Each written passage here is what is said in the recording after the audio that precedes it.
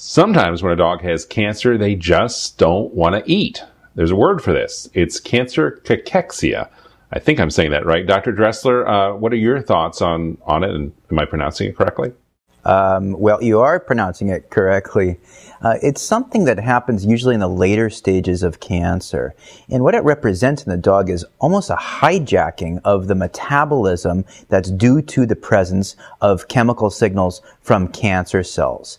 And what it does is it prevents the body from getting the carbohydrates and the fats and the protein absorbed and processed to support the body tissues. And what the cancer chemicals do is they instead shift the body's metabolism so that the body is now feeding the cancer as opposed to feeding itself. So that sounds like a pretty serious situation because the dog doesn't want to eat. Yeah, when you combine that with a lack of intake, caloric intake, we have this weight loss. And that's really what cachexia is, is the loss usually of muscle mass that's connected with the cancer cells. Now, there is good news there because through some dietary modification that we talk about in the guide, and also through the use some sometimes of uh, uh, increasing appetite with medication uh, or sometimes supplements. All of these things can help to offset the cancer cachexia. Okay, what are what are some of the things that, that you do in your practice, Dr. Ettinger, when a dog is presenting with cachexia?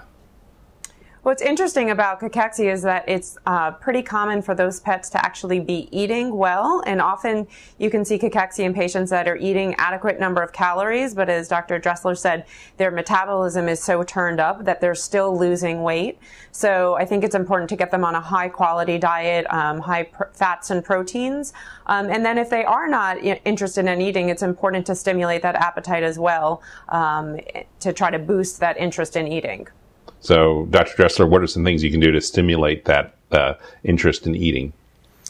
Well, there are certain uh, pharmaceuticals uh, which can be used to increase appetite. Um, newer ones, uh, probably the most common, is mirtazapine. Uh, in the olden days, uh, we used to use different medications, uh, different drugs. On the herbal side, quote unquote, or on the alternative side, many times we'll use things like ginger, which can help to soothe the stomach, and sometimes also a slippery elm, which can help to soothe the intestine.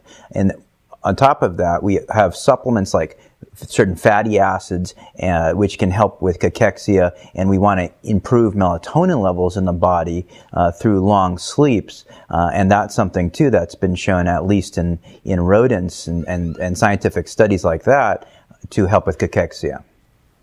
There is help if your dog isn't eating because he has cancer cachexia, and uh, more information is available in the Dog Cancer Survival Guide. Dr. Dressler, Dr. Ettinger, thank you so much. Thank you. Thank you.